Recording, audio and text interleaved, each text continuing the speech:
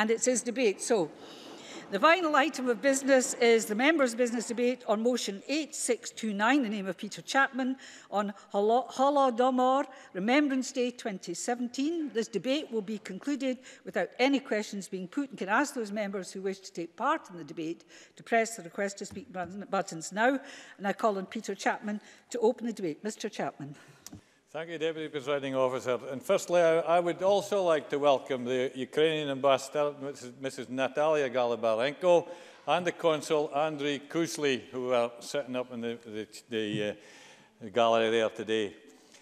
And there are, very, there are, there are many friends of Ukraine, I think, in the, in the the chamber as well, sitting behind there. So welcome to you all. And I also need to say sorry for keeping you waiting for so long for, for this debate. Uh, we have a habit of, of, speaking far too long in this chamber, and, apologies for that, but we are here now. And, and the Ambassador and Andrew have to be thanked for bringing the topic of today's debate to my attention. Be before I first met with Andrew here in Edinburgh, I had never heard of Holodomor before. And I'm sure some of you speaking in today's debate, debate had, not before, had not before signing my motion. And that is why this debate is so important. It is important that this tragic event is highlighted to let the world know the cruelty and the viciousness of Stalin and his regime. Now, Europe's recent history over the last hundred years or so is littered with war, conflict, and death. The First World War resulted in about 16 million deaths, and during the Second World War, some 60 million people were killed worldwide. But these conflicts are well known. The Holodomor is almost unknown outside the Ukraine, and it is time for that to change. The Holodomor is based on two Ukrainian words, holod, meaning hunger, starvation, and famine, and morito, mority, meaning to induce suffering to kill. And from 1932 to 33, the Holodomor famine took from 7 to 10 million innocent lives, many of them children. After the First World War and the fall of the Bolshevik regime, there was a downfall in the Russian Empire. This resulted in the abolition of censorship and the establishment of an independent Ukrainian state, and an allowed and astonishing renaissance of literary, literary and cultural activity. Many new writers and poets expressed their views on politics, and soon the people of Ukraine were working towards the elimination of illiteracy. They were becoming a smart nation, which did not sit well with Joseph Stalin. And in the summer of 1932, Stalin saw the resurgence of the Ukrainian as a threat. And in a letter to one of his main associates, he wrote, if we do not start rectifying the situation in, in, Ukraine now, we may lose Ukraine.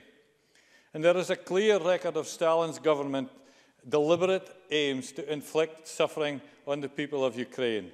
He systematically planned their starvation and death to hold on to their land. And this began in the summer of 1932 when Stalin wrote a law now commonly, commonly known as the Law of Five Years of Grain. Ukraine was the most important agricultural part of the USSR. And despite only making up 2% of the USSR's total area, they harvested 23 million tons of grain, which was 28% of the gross grain harvest of the whole USSR. It was the breadbasket for Stalin's regime, and he used this to his advantage and subjected the nation to grain quotas confiscating supplies down to the very last seed. All farmland became the property of the Soviet Union. Food in farmers' homes was taken, and if they were caught taking food from the land they had owned, they would face fines, imprisonments, and even execution. And as they starved, it became hard, harder to harvest what the government requested, and the punishments worsened. From the implementation of the first grain quota they became Soviet prisoners and Soviet slaves. And this suffering and starvation of the Ukrainian people was controlled through enforced isolation put in place to prevent starving peasants from going in search of food. A resolution passed by Stalin under the Soviet regime in January 1933 stated, a massive exodus of peasants in search of bread has started without a doubt organized by the enemies of the Soviet government. Therefore, regional executive party bodies in Soviet Ukraine are ordered to prevent a massive exodus of peasants. Peasants from Soviet Ukraine who have crossed the borders to the north shall be arrested and deported back to their places of residence. It is recorded that the Soviet regime forcibly sent over 186,000 people back to their home to face certain starvation. We know that they systematically sent people back to their villages, knowing there was no food, knowing they would die a horrible, lingering death. As a result of the Holodomor, 20 to 25% of the population of Ukraine were exterminated. This enforced starvation reached, reached its peak in the winter, uh, uh winter and spring of 1932 into 33 when 25,000 people died every day. I repeat, 25,000 a day were dying at this point. And Maria Couture, a survivor of the Holodomor, stated, My mother buried the children herself. When my brother was dying in February 1933, he pleaded for food. My older brother died in March and my sister in May 1933. This harrowing account shows what many families had to endure, the horror of parents burying their own children. The Holodomor had an extremely high mortality rate for children. In September 1933, approximately two-thirds of Ukrainian pupils were missing from schools. And many desperate parents would risk being caught by the Soviet secret police and take their children through the Ukrainian borders, abandoning, abandoning them in urban areas in hopes they would find more food there. Many, however, died on the street.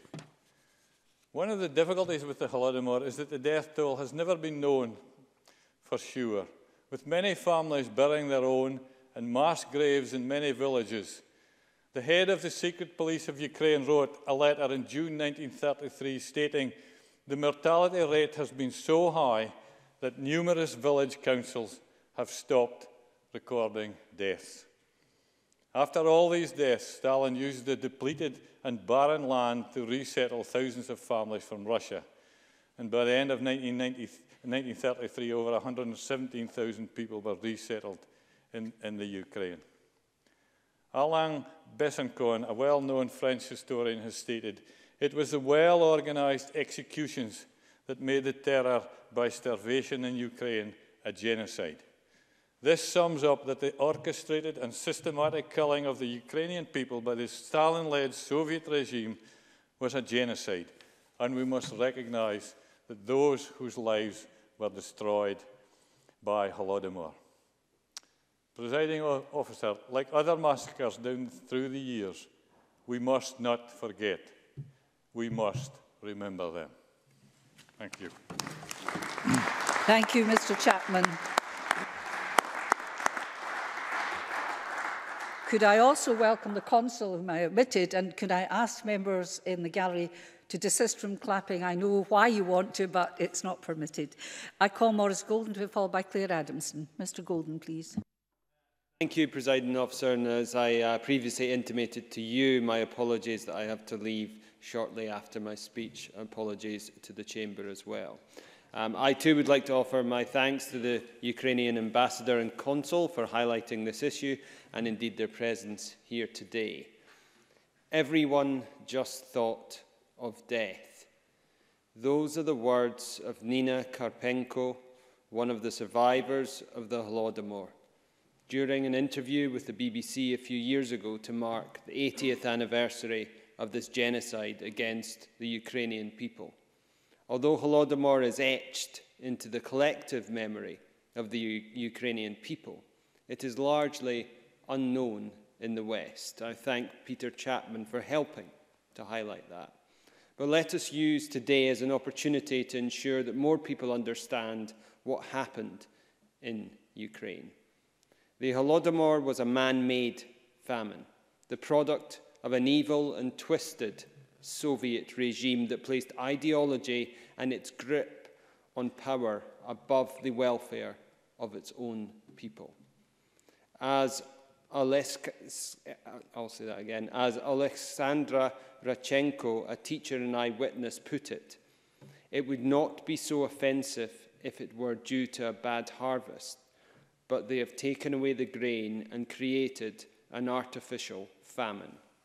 Estimates vary, a situation not helped by the decades of denial and secrecy, but somewhere in the region of 4 to 10 million innocent people perished in appalling suffering. The sad irony of Holodomor is that Ukraine was the breadbasket, its farmers producing more than a quarter of the grain harvest of the entire Soviet Union. How then could so many of its people die of starvation. In the late 1920s, Stalin began the process of collectivization, forcing farmers to hand over their land to Soviet authorities. Those who resisted were branded class enemies with armed troops and secret police used to enforce Stalin's will. Collectivization wasn't just a case of mass theft by the Soviets, it was an assault on Ukrainian culture. By attacking the concept of the rural village, a key part of Ukraine's traditional culture. So the grain harvests were well below normal in 1932 33, and the Soviet response was to increase the grain quotas. And when farmers couldn't meet the quotas, Communist Party agents tore through Ukraine and took any food they could find. The result was, of course, famine. Pleas for help fell on deaf ears with Stalin writing that Ukraine has been given more than its due. Harsh laws made it difficult for people to help themselves. You could be shot for stealing a sack of wheat. The famine intensified, and by 1933, tens of thousands of people were dying every day. The accounts are harrowing people eating anything they could find to survive, people dropping dead in the streets, villages decimated.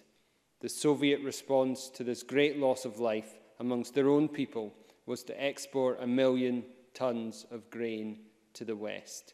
Some did survive, though, like Nina Karpenko, and it's through their accounts that we can and we must recognise the Holodomor for the genocide it is and ensure that it is never forgotten and never repeated. Thank you, Mr. Golden. I call Claire Adamson to fall by Claire Baker. Miss Adamson, please. Thank you, Presiding Officer. Um, I want to, to let Mr Chapman know that I did know about the Holodomor before his motion, um, and the reason I do so is that I have a Ukrainian friend, to my knowledge, my only Ukrainian friend, and he is in the gallery today, um, a former member of this place, Stefan Kimkovich, and councillor in Edinburgh Coun uh, Council.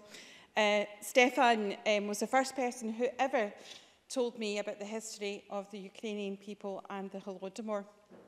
Um, but having met with the, um, Her Excellency and the Consul General this afternoon, I'm sure that's a friendship group, group that will now grow. I also want to thank the diaspora of the Ukrainian people, many of whom are here today, for bringing the Holodomor exhibition to this Parliament to help inform MSPs about um, what had happened and about their country and their family's history. It was very important to me to, to see that here in its place. A few years ago now, perhaps it's time for a re refresh and a revisit. Having known a little bit, not much about it, um, the Holodomor um, was something I had heard about. And last year I visited uh, Canada and the United States with the presiding officer of this parliament on a parliamentary visit and was lucky enough to visit the Canadian Museum of Human Rights. It's the first museum in the world solely de dedicated to evolu the evolution, celebration and the future of human rights. And it, it's a profound experience to be there. It's a, an amazing place to visit and one that I will never forget because of the impact it had on me in so many areas. And in their Breaking the Silence gallery, they have exhibitions commemorating, remembering and informing people about the genocides of the world. And to my surprise, the Holodomor was included along with Rwanda, Srebrenica, the Holocaust and others. And my surprise was there because I was unaware that Canada had recognised the Holodomor as a genocide, something I think personally that this country should do as well. The Breaking Silence Gallery had a 10 minute long film showing footage from the time in the Ukraine and showing some of the posters and some of the uh, propaganda that was put out with the Soviets denying that there was any problem in the Ukraine. And it, it was a famine, it, the, the major part of which was 1932 to 33, but the Soviet Union's policies had damaged the hurricane in 1925, 28 and 29. It was a catastrophic famine that swept across the, the Soviet Union and it began in the chaos of collectivism, as have been mentioned by my colleagues. But the Soviet Union was also in denial and preventing the information about this reaching the West. And we have to thank um, journalists such as um, the Manchester Guardian's Malcolm Muggeridge, who at great risk to himself defied the Soviets, went into the Ukraine, and because they sanitized the reports of reporters and, and things like famine and starvation, words were banned by the Soviets. They smuggled the real testimony of what was happening in the Ukraine to the West. Unfortunately, it didn't suit the political system here. At the time, the Soviets were moving towards being our allies in what was to happen in World War II. And many, many people denied what was happening. In Muggeridge's own words, he said, what made it so diabolical is it was the deliberate creation of the bureaucratic mind without consideration whatever of the consequences in human suffering. My experience in Canada taught me, seeing all those genocides together, there is no limit to man's inhumanity to man. But we mustn't forget, we must remember, as we have in debates about Srebrenica, about the Holocaust here,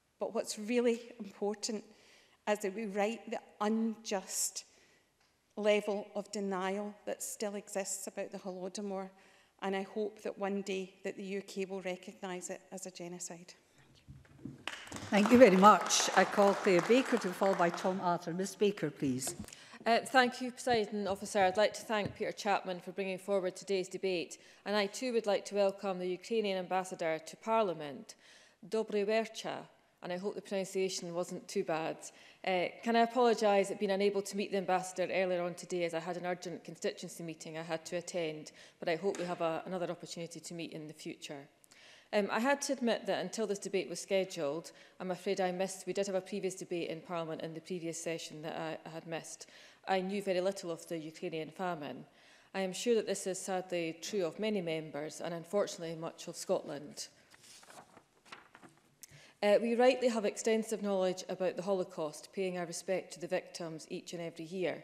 This Parliament has also had many debates and visits centred around the genocide in Srebrenica, as we remember the shocking deaths that took place in Europe all too recently. Yet the genocide at Holodomor has, as far as a quick check of the official report indicates, only had one very short debate. I hope that today is the beginning of Parliament's attempts to address this.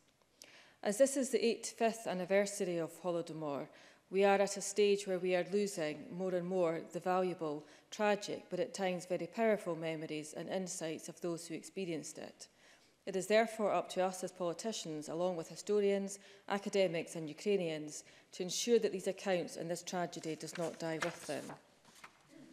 Uh, my researcher, Jamie, recently became a dad. His son, Sam, is a quarter Ukrainian. Sam's great-grandparents on his mum, Amy's side, are survivors of Holodomor, survivors too of the Second World War in that region before they were able to seek refuge in England. Their daughter Olga then met and fell in love with a Scot and they made their home in Preswick. Um, Sam is six months old, but his Ukrainian grandparents, Walter and Mary, passed away before he was born. Yet for baby Sam and other Ukrainian Scots, it is as much part of their history as the Highland clearances just as Taras Shevchenko is as much a part of their culture as Robert Burns. By calling the famine Holodomor to kill by starvation, it is a recognition that it was man-made. Starvation is often a consequence of war and conflict, but it can also be a deliberate act of aggression or control.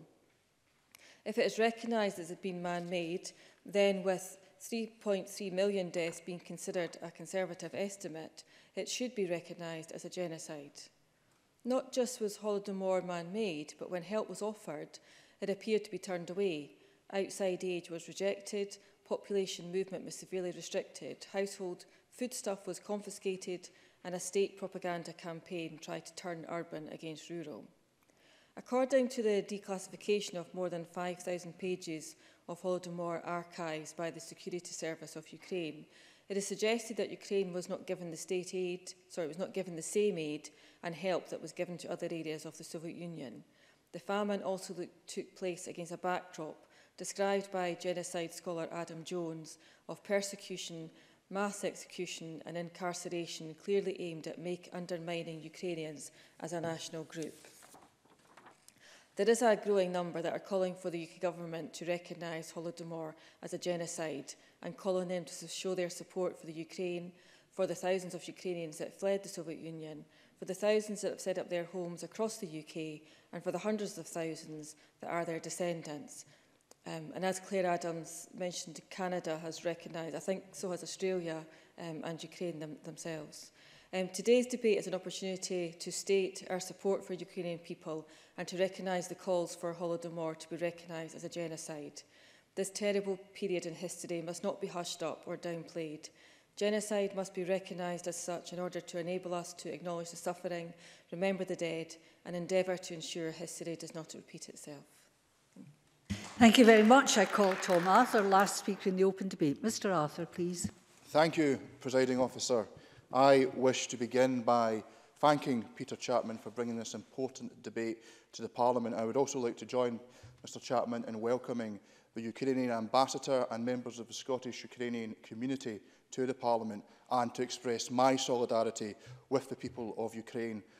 and the, U the Ukrainian state. This debate is important for several reasons. Firstly, it is important because it is important to remember If the Korean War was the forgotten war of the 20th century, the Holodomor was the forgotten genocide of the 20th century.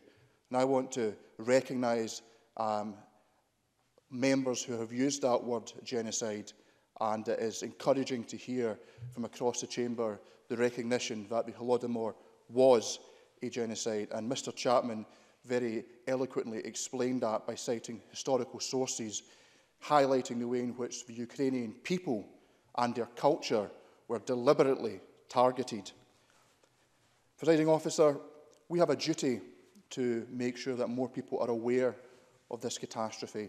And I certainly will undertake to make sure that in my capacity as a constituency member that I engage with schools and my constituency of Renfrewshire South to increase awareness. Because there are several important lessons that I think emerge from this catastrophe, 85 years on. And that is one, is the way in which ideology taken to its extreme can dehumanize people. It is, to use Burke's term, geometric politics, where individuals are subsumed into a collective, where people are instrumentalized and used as a vehicle for some other political end and individual liberty, liberty is lost. That I believe was perhaps best captured in its most sinister form by that set of words often attributed to Stalin that a single death is a tragedy and a million deaths is a statistic. And even if such that statement is apocryphal in its source, it sums up the fundamental the fundamentals of communist ideology. It sums up the ideology that led to something like the Holodomor taking place.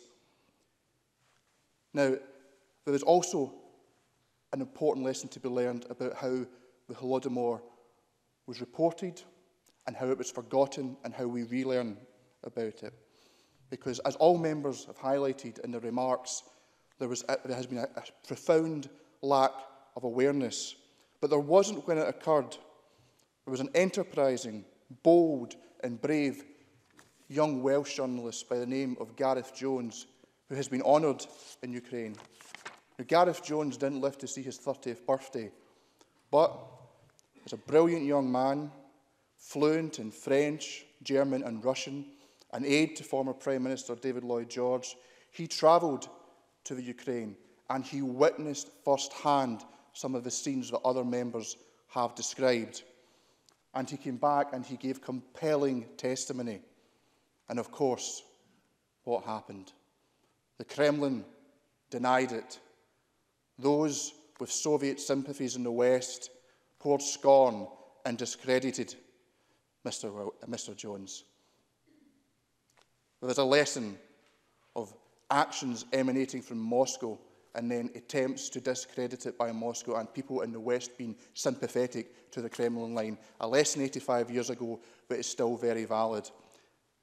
And what happened to Gareth Jones is he regained his reputation, and he went to Japanese-occupied Mongolia to report an event there. And he died in mysterious circumstances. But two of the last people he met were Stalin's NKVD agents. And there's a lesson there to be learned as well. Presiding officer, if I may just in concluding say that this year may represent the 85th year, the anniversary of the Holodomor but it is also the 10th anniversary of the Prague Declaration on European Conscience and Communism, from which we have a European Day of Remembrance for victims of Stalinism and Nazism. We all have a duty, both in this place and in our work in our constituencies, to make sure that prominence is given to the victims of the Holodomor and that future generations will never forget because fundamental to this are the words of George Santayana.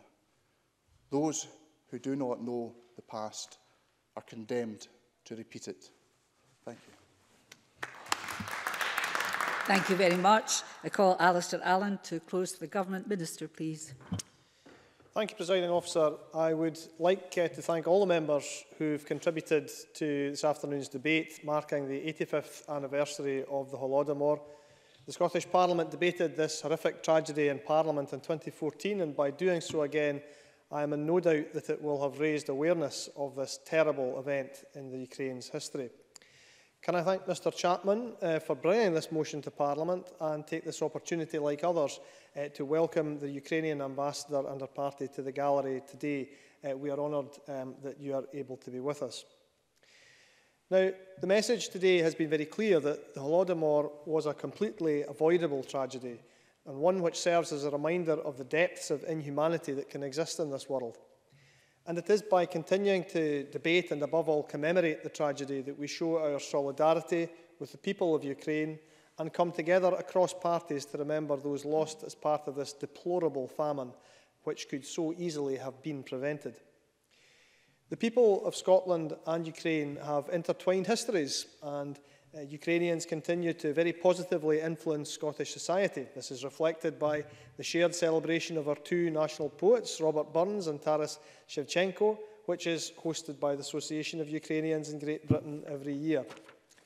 One of the most visible gifts to Scotland from the people of Ukraine came from Ukrainian prisoners of war who made Scotland their home in the first half of the 20th century resulting in the Hallmuir Ukrainian Chapel near Lockerbie.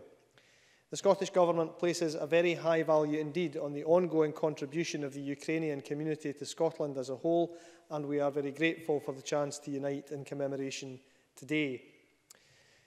I want to say uh, a little, uh, as others have, about the sequence of events that we're commemorating. In 1924, Joseph Stalin ascended to power in the USSR. In 1928, he introduced an agricultural programme of government-owned farms and factories. And as Claire Adamson mentioned, a bureaucracy was set up um, to develop uh, the ideology around that uh, and to, um, uh, to oppose uh, very violently any social groups uh, that Stalin decided were in the way of that plan. In 1929 and 1930, uh, groups which were considered um, by Moscow to be dangerous uh, or members of society that were not uh, uh, of the same way of thinking as Moscow were rounded up and sent to Siberian work camps. In 1932 and 1933, production quotas for Ukraine increased by some 44%, causing widespread hunger and starvation, something which amounted to an attack on the whole people and culture of the Ukraine. Now, given this sequence of events, I wholeheartedly understand the basis for the calls across this chamber to designate the Holodomor as a genocide.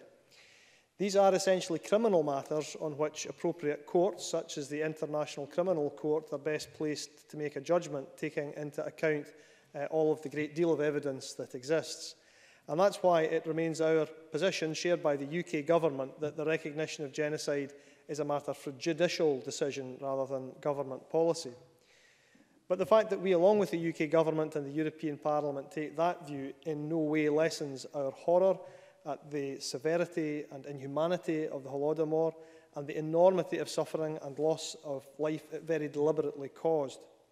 Nor does it lessen our recognition that the policies and political decisions taken at the time by the then Soviet leadership were responsible for the famine resulting in the deaths of millions of Ukrainians. The scale of this tragedy is truly staggering by any measure. By 1933, as we've heard, the death rate had reached 25,000 people a day, most of these children, and by the end, millions of lives had been lost. It is no exaggeration, therefore, to say that the Holodomor is one of history's starkest warnings uh, and marks a devastating chapter in world affairs that must never be forgotten. It has been 85 years since the beginning of the Holodomor, and in every one of those years, people across the world have worked to honour those who died. Therefore, it is important that we also take uh, the opportunity today to pay tribute to the people who continue to work to keep alive the memory of all those who perished in the Holodomor.